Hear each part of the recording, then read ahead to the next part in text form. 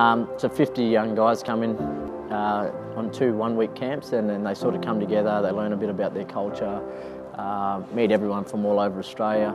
And we've got guys coming from the remotest communities, which is really special. We obviously had a couple of great success stories uh, earlier this year and one of those was obviously Traye Bennell. He's a part of our program. He's been a part of it for the last two years. The Footy Means Business program is real good. Like, it's a good experience to get to meet ex-AFL players, meet all other brother boys from over the country, learn their cultures. That's all it is. Some of these guys, you give them that sort of inspiration and then they start believing it. It's real good having an Indigenous mentor. Like, keeps me on track.